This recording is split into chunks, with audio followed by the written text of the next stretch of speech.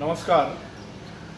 आज आपल्या तालुक्यातल्या हक्काच्या पाण्याच्या आणि जे कार्यालय स्थलांतरित नगर जिल्ह्यामध्ये झालेलं आहे त्याच्या आंदोलनाचा आज तेरावा दिवस आहे.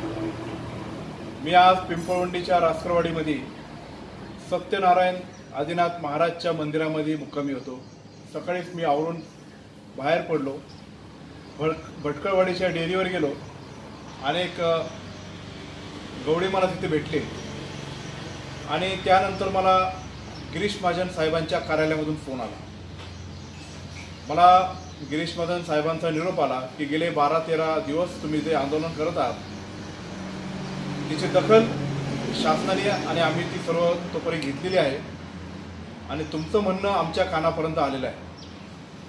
तर आम्ही सुधारित जी आर काढण्याच्या सकारात्मक दृष्टिकोनातून विचारधीन आहे आणि निश्चित प्रकारे आज अकरा बारा वाजेपर्यंत तो जी आर निघेल असं त्यांनी मला आश्वासित केलेलं आहे.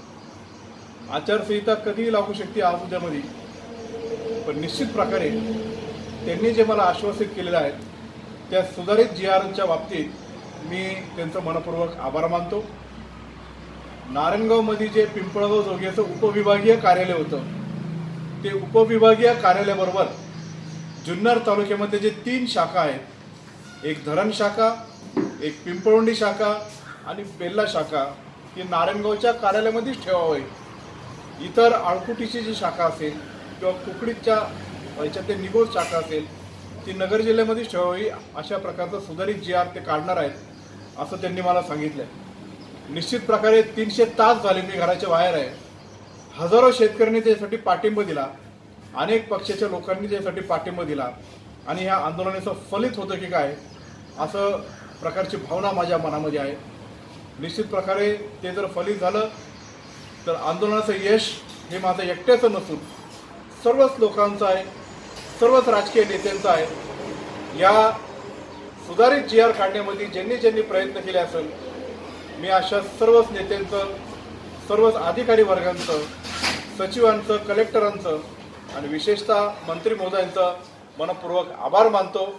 आणि हेच जे आर निघत नाही तोपर्यंत मात्र आमचं आंदोलन हे अशाच प्रकारचं चालू राहणार आहे. नाहीतरी कोर्टातून आम्ही ती याचिका दाखल केली आहे. शेवटी न्याय देवतेपाशी ती मागणी करण्याशिवाय आम्हाला पर्याय नाही. पण निश्चित प्रकारे मी आपलं सर्वांना हेच सांगू इच्छितो की शासनाने आपल्या आंदोलनाची दखल घेतली. जे काय आपले कष्ट घेतले ते व्यर्थ जाणार नाही. आपण आजपर्यंत जुन्नर तालुक्याच्या हिताच्यासाठी जे जे पाऊल उचललं त्या दृष्टिकोनातून या सरकारला किंबहुना राज्यकर्त्यांना आपल्या हितासाठी लोकशाही मार्गाने सनदी मार्गाने झुकू शकलो आणि आपला न्याय मिळाला याचा आनंद मला आज निश्चित प्रकारे होत आहे. नक्कीच तो जी आर न्यूजपर्यंत त्याची आपण वाट पाहूया एवढंच या निमित्ताने सांगतो. थांबतो धन्यवाद.